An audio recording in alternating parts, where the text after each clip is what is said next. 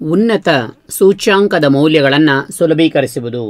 Simplifying higher order index roots ಈಗ ಉನ್ನತವಾಗಿರ್ತಕ್ಕಂಥ, ಅಂದರೆ square root cube root fourth root fifth root sixth root ಅಂದರೆ ಮುಂದೆ ಇನ್ನೂ ದೊಡ್ಡ ದೊಡ್ಡದಾಗಿರ್ತಕ್ಕಂಥ ಎಂಥ ರೂಟ್ ಅಲ್ಲಿವರೆಗಿನ ಒಂದು ಸೂಚ್ಯಾಂಕವನ್ನು ಹೊಂದಿರುವಂತಹ ಮೂಲಗಳನ್ನು ಸುಲಭೀಕರಿಸೋದು ಹೇಗೆ ಅಂತಕ್ಕಂಥದ್ದನ್ನು ಈ ಒಂದು ವಿಡಿಯೋದಲ್ಲಿ ತಿಳ್ಕೊಳ್ಳೋಣ ಬನ್ನಿ.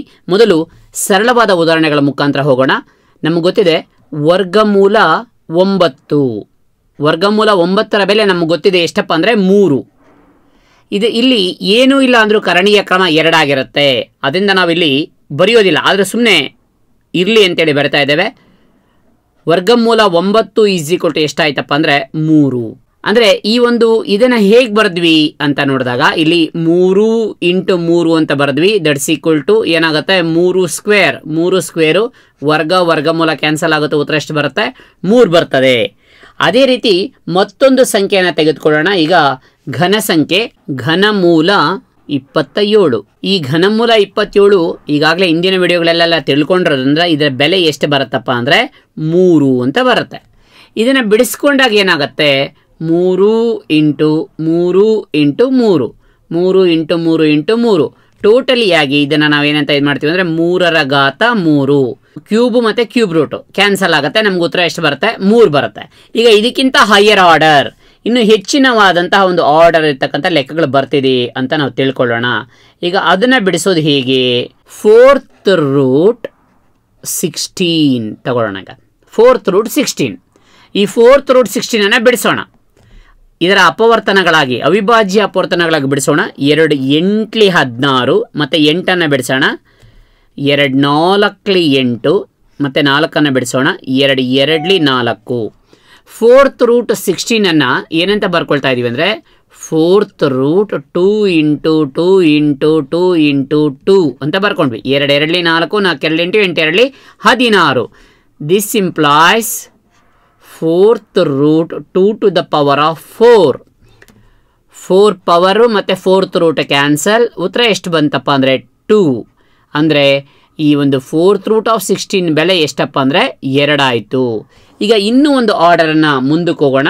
Fifth root fifth root ninety six ಅದನ್ನು ತೆಗೆದುಕೊಳ್ಳೋಣ. ಫಿಫ್ತ್ ರೂಟ್ ನೈಂಟಿ ಸಿಕ್ಸ್ ಇದನ್ನು ಬಿಡಿಸೋಣ.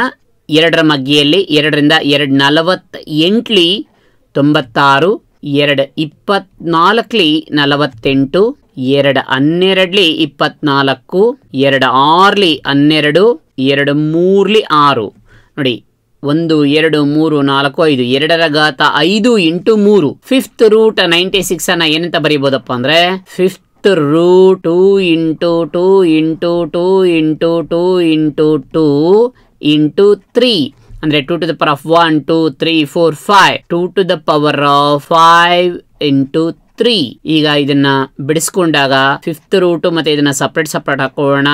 ಅವಾಗ ಎಷ್ಟು ಬಂತಪ್ಪ ಅಂದ್ರೆ fifth power fifth root cancel two into fifth root three two into fifth root three ಬಂತು. ಇನ್ನು ಒಂದು ಆರ್ಡರ್ ಅನ್ನ ಮುಂದಕ್ಕೆ ತೆಗೆದುಕೊಳ್ಳೋಣ. ಅದು ಯಾವ್ದಪ್ಪ ಅಂದ್ರೆ six root six root sixty four into x to the power of eight ಈಗ ಇಲ್ಲಿ ಒಂದು ಚರಾಕ್ಷರವನ್ನು ಸಹ ತೆಗೆದುಕೊಂಡಿದ್ದೇವೆ. ಇಲ್ಲಿ ಯಾವುದರಲ್ಲೂ ಸಹ ಚರಾಕ್ಷರ ಇಲ್ಲ.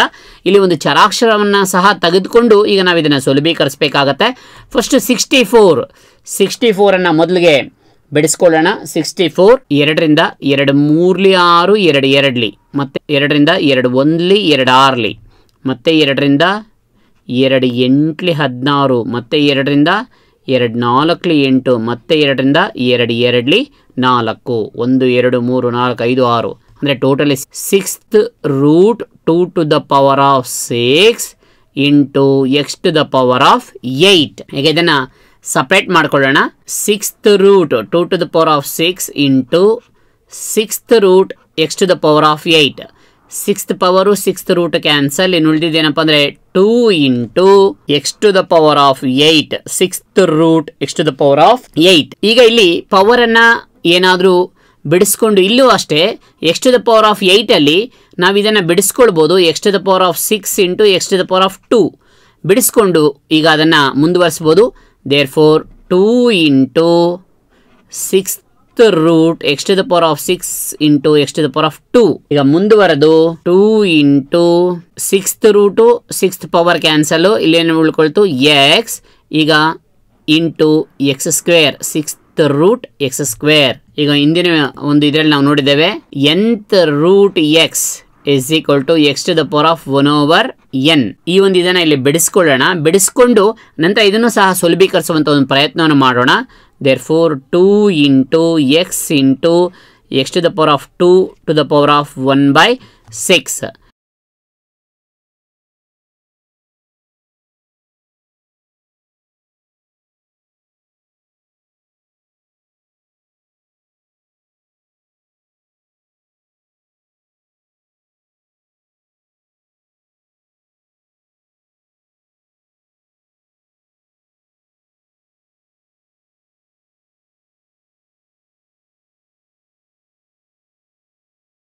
that's equal to 2 into x to the power of 8 whole to the power of 1 by 6 ಈಗ two into x to the power of eight by six ಅಂದರೆ ಎರಡು ನಾಲ್ಕಲಿ, ಎರಡು ಮೂರ್ಲಿ. ಕ್ಯಾನ್ಸಲ್ ಆಗುತ್ತೆ.